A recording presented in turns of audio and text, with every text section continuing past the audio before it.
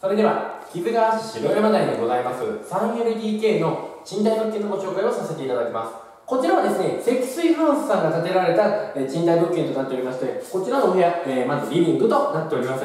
こちらのリビングはですね、えー、このように南向きのお部屋となっておりますので暖かい日差しがしっかりと入ってくるお部屋となっております。また1台なんですが、えー、エアコンも設置されております。こちら奥に進んでいただきますと奥にはですねこのように洋室がございます。こちらの様子ですけれども寝室として使っていただいても大丈夫ですし、えー、趣味の部屋として使っていただくこともできます。こちらもですね南向きのお部屋となっております。こちら、えー、収納スペースとなっております。このように高さもございますので、えー、コートなどをかけていただくのにも十分な、え収納となっております。でこちら。からですね、えこちら進んでいただきましてキッチン部分となっております。こちらのキッチンなんですがこのように三つ口のアイエンチコンロがついておりましてこのようにグリルも設置されております。またまな板もですねこのように十分に置いていただくスペースもございますので、えー、お料理のかなりしやすいキッチンとなっております。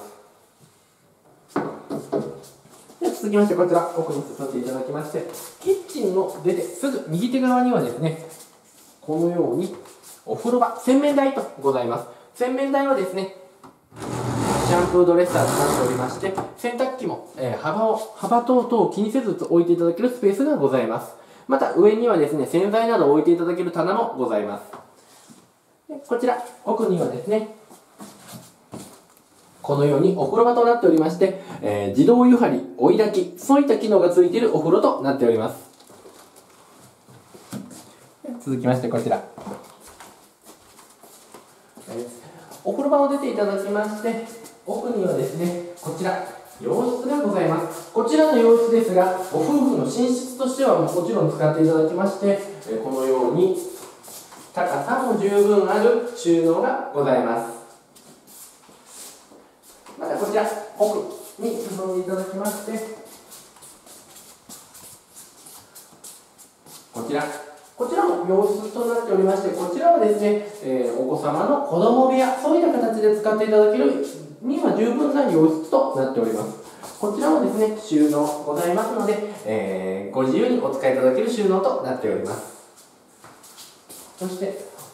お部屋のすぐ隣にはですねこのようにお手洗いございます。お手洗いはですね、えー、ウォシュレットタイプとなっておりまして、上にはですね、トイレットペーパー、そういったものを置いていただけるような棚もございます。でこちら。